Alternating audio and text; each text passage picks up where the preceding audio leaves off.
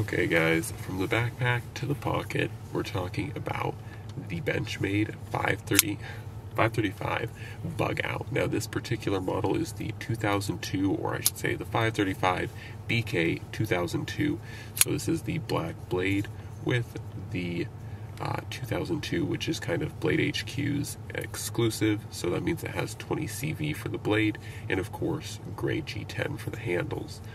But today we're going to actually be taking a look at the 535, and I'm talking about this 535 and this the ones that I've had in the past because this is not my first bug out, and this will probably be my last bug out. But that's because it's a pretty solid bug out in 20 CV with pretty good handles. Might end up getting some custom handles, but overall I like how this blade is configured pretty darn well. So, okay, guys, this is Matt from the future, just reminding you that if you want to see more Alaskan gun, EDC, survival, and bushcraft content, make sure that you hit that subscribe button, ring the notification bell, and of course, leave a comment and a like while you're at it. It helps with the bug out itself, regardless to which version you get.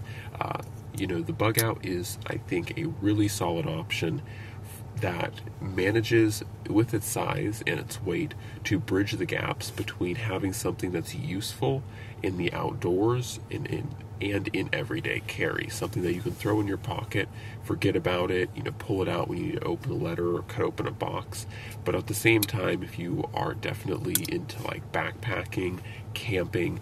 I'm not going to say that this would replace a solid or a stout camp knife per se. You know, I don't think that this is any uh, blind horse knives, you know, battle lore, but I do think that this would do a pretty good job, especially if you're a ultralight backpacker and you just need something to you know cut open your mountain house meals, or you need something to strike a ferro rod to get your uh, isobutane stove going. So I think that this is a really good option for both of those kinds of spectrums and it plays into both very well because of the size that it has and it's actually a pretty good size. You know you can get a comfortable four finger grip and as you can see you know there still is some handle hanging off. And what that leads to is a longer blade that's about three and a quarter inches. And uh, once again three and a quarter inches isn't huge and it's definitely not going to place or replace a main camp knife but that three and a quarter inch blade is definitely going to allow you to do things such as feather stick, uh, you know, once again, open things and, you know, cut cordage, do whatever the general purposes you're going to need to do. In addition to that, it can also be pushed into roles such as field dressing or skinning animals very well, especially in something like S30V at stock steel or especially uh, CPM 20CV. You know, this is going to be a pretty darn good uh, steel going up against flesh, bone, skin, all of that type of stuff. It's going to hold an edge very well. Now, granted, it might not be the easiest to field sharpen, but it kind of gets to that point where you don't really need to field sharpen the steel because it's not going to go dull unless you're processing like a whole moose.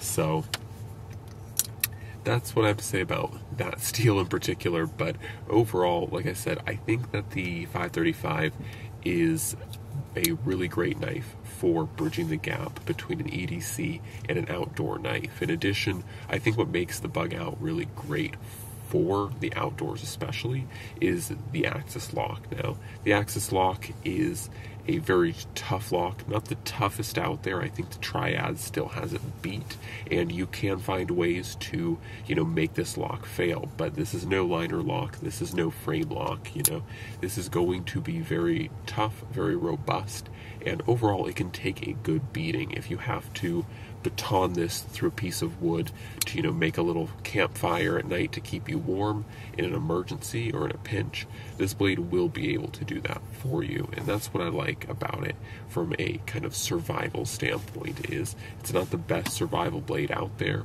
but in a pinch it can certainly serve the role and actually do a pretty okay job at it so that is uh, what I like about it from the outdoors side of things. Now, I will say, you know, one of the biggest downsides from an EDC perspective uh, is the fact that it does feel very thin in the hand. Now, you know, you can't have your cake and eat it too. You can't have you know, a long blade that's lightweight and thin in the pocket, but also expect it to feel you know, hand filling when you hold it.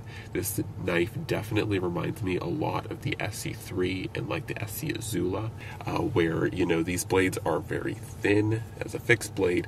You know, it's a very thin blade with very flat handles. Like you can see, there's absolutely no contouring to these handles. And as a side effect of that, you know, it's a very compact package, and this blade, you know, once again, is very easy to carry, very compact and very thin. But when you go to handle it, you know, actually hold it, it's like, wow, okay, it's not very hand filling.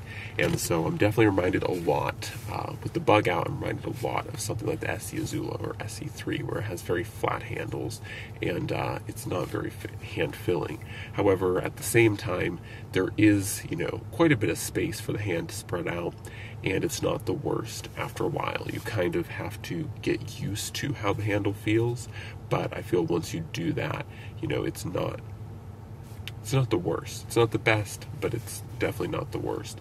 And in a lot of EDC tasks, you're not going to be sitting there and, you know, carving on something for five hours. You're going to be, you know, just popping open a quick box or, you know, doing something very fast. And so you usually aren't going to be holding the knife for too terribly long. But at the same time, for me, I definitely notice it. And it's not as bad as I once thought but it's definitely not the best. And I will say, originally, I definitely did not like the. I definitely didn't like the bug out as much, uh, my first bug out. And maybe that was due to the fact that those were the stock handles, and you know, the So with the original blue Grivory handles, the bug out leaves a lot to be desired. I think that those handles just feel very cheap and there's a good amount of flex to them, whereas the G10 certainly makes the uh, knife a little bit more quality because the handles have less flex. But either way, you know, they, they are solid. Um, and they're not going to they may flex but you know they're not going to like snap or like bend completely out so they they are solid and and the whole knife as a package uh, is just overall pretty pretty well put together. No real complaints. Of course it does run on phosphorus bronze washers so it is pretty darn smooth opening and closing. You guys can see. Doesn't need much help or much assistance. Uh, this one is still pretty new so it isn't the most drop shut but at the same time uh, it definitely doesn't take much. And so anyways, that is what I think about this knife. I think that whether you're going to be using it outdoors or in an outdoors application, I think it's a really solid blade for that. I think it's a really solid blade to bounce between EDC and the wilderness, and that's kind of where I like this knife a lot. Um, I wouldn't necessarily say that this is my top choice if I was just going to be doing EDC alone. If I was going to be solely doing an urban kind of everyday carry, I would go, I would opt for something probably more like a Sebenza. Not to say that it's good because it's expensive, but the Sebenza just feels more hand filling and it feels a little bit more comfortable to use. Um, so I would probably go with a Sebenza over this for just everyday carry in an urban environment but at the same time, the Sebenza is not as robust or as strong in a wilderness application. So, you know, if I was going between the two environments, I would be more likely to choose something like the bug out because it is better in a wilderness environment. In addition, though, uh, I think the bug out also fits in very well to any EDC or outdoor uh, application where you're looking for maximal uh, weight savings. If you're really looking to save ounces, not even just pounds, but ounces, I think that's where the bug out really shines because you're going to be able to save a lot of weight over other options, really just about any other option. I mean, even something like this ESEE-3 or sorry, ESEE Izula 2, you know, is substantially heavier than this little bug out. Not to mention, if you go with something like this ESEE-2, sorry, ESEE Izula 2, um, you're going to have to deal with a fixed blade. You can't necessarily just throw this in your pocket. I mean, you can, but you know, you're dealing with a knife that's this size. Whereas if you throw this in your pocket, you're dealing with a knife this size. And then when it's out of your pocket, you know, you have a decent blade that is actually, I think, about, yeah, it's actually larger than the Izula, too. So, yeah. Anyways, this is a really good knife for those types of applications. If you are looking for a blade that can go between those two types of uh, environments fairly well, and you're looking for something that's slim and lightweight that really disappears in your pocket, I think the Benchmade Bug Out 535, whether it's one of the custom iterations like the 2002, or if it's even just a stock option or stock iteration, um, it's definitely a solid option for sure. So, anyways, guys, that's all for now. God bless, and I'm out.